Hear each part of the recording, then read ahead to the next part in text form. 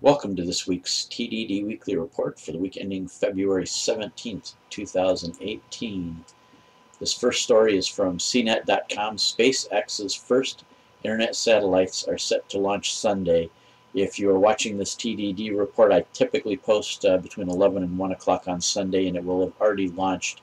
It's scheduled for 6.16 a.m. Pacific time. That would be 8.16 Chicago time, 9.16 a.m. Uh, Eastern Standard Time. So it will have already launched, hopefully, and launched successfully.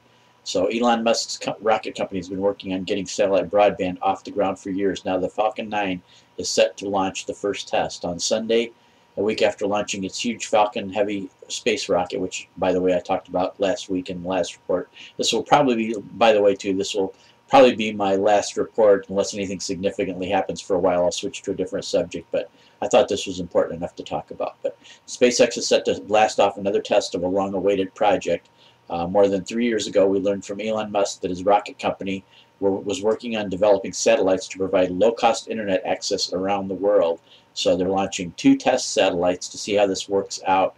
They haven't really been forthcoming about the information, but by exploring some of the permits issued by the FCC, they've been able to kind of track this down, and then I guess after that they got them to kind of admit to it. So um, the letter from the FCC refers to two satellites called Microsat 2A and Microsat 2B that will be launched as a secondary payload on the PAZ mission. The FCC granted SpaceX a license in November to launch this pair of satellites as part of a test mission in its application, the Sunday described the test objectives in addition to providing uh, uh, proving out the development of the satellite bus and related subsystems. The test program for the Microsat 2A and 2B spacecraft will also validate the design of a phased array broadband antenna communications platform.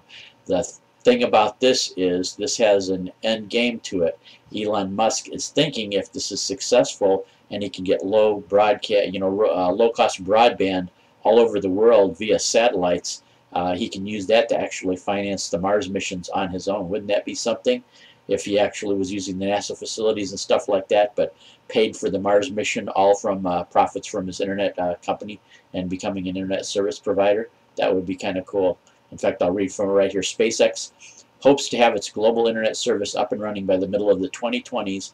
Other public filings have revealed that the company hopes revenue from becoming an ISP could help fund its vision of a Mars colony. So that would be kind of cool if NASA doesn't get on board and go with it, or maybe they could do a partnership or something. But it's nice to think that he's got a plan in the works that, hey, NASA, if you're not going to come along for the thing, we'll do it ourselves. So that's kind of cool. This next one is from IFL Science. Scientists reverse Alzheimer's disease in mice. Alzheimer's disease is a slow, tragic blight of the brain, a disorder that intrudes upon a patient's identity and fundamentally changes who they are. The condition is chronic and at this point incurable. Now researchers report that a mice rid of uh, let's see that a mice rid of specific enzymes show signs of Alzheimer's reversal. Their amyloid plaques melted away, cognition improved, and their synaptic function was partially restored. This is really the way they wrote this was really kind of weird, grammatically at least. Now researchers report that the mice rid of a specific enzyme show signs of Alzheimer's reversal. To our knowledge, this is the first observation of such a dramatic reversal of amyloid deposition in any study of Alzheimer's disease mouse models, says researcher Requang, and I don't even, I'm slaughtering this probably, Requang Gan from the Cleveland Clinic Lerner Research Institute. The enzyme in question is called beta secretase BACE1.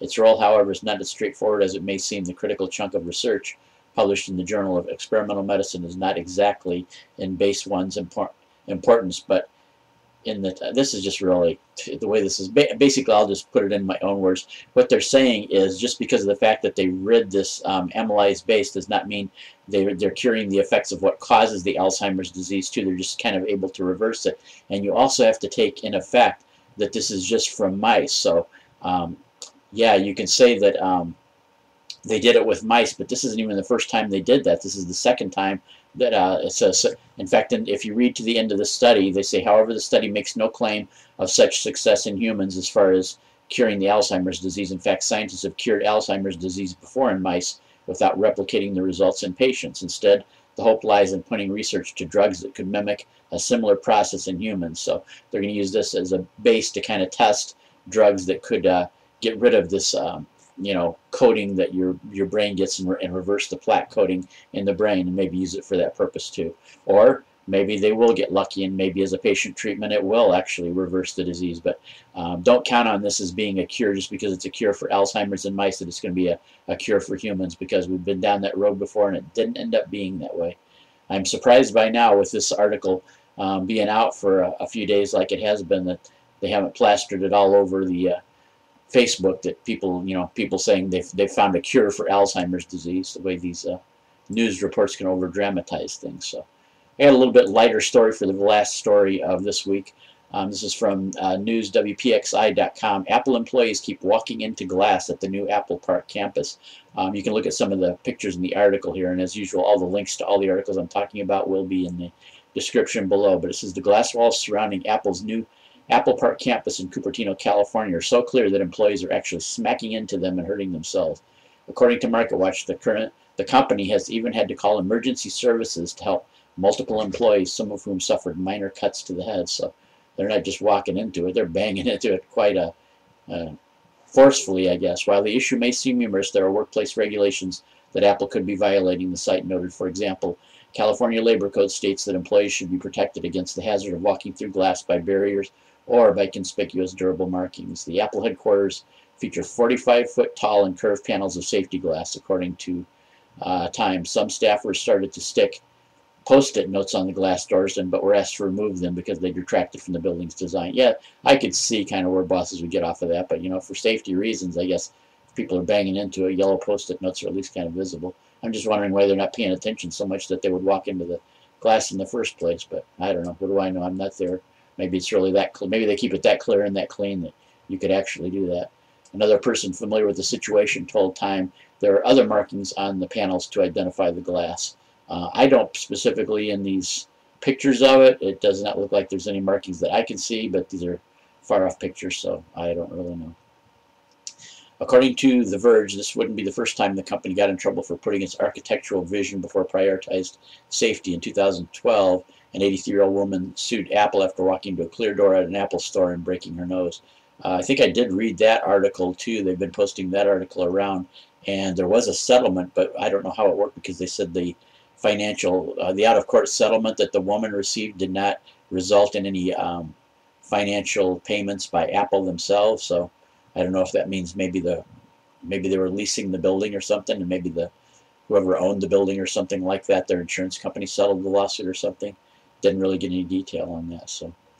Last year, Wired magazine called the structure a statement of openness of free movement. In 2011, Apple co-founder Steve Jobs called the vision a little like a spaceship landed. I mean, it is impressive to look at and everything, so I still don't really understand why why are people walking into the glass, you know, are they paying attention to something else when they, I even made a little joke on Facebook. I little I put a little joke underneath uh, when people were posting about this uh, article and said, yeah, the the first uh, few hours that uh, the Apple employees couldn't actually get in the building because they were pushing uh, on the doors when it said pull.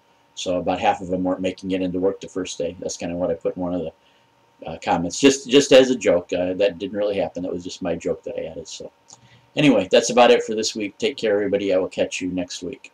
Oh, and by the way, let me give credit where credit is due to down in the description below. The very first article about SpaceX was sent in by um, Brian D., my friend Brian D. So I want to give credit where credit's due, and that will be down in the description below. So Take care, everybody. I will catch you next week.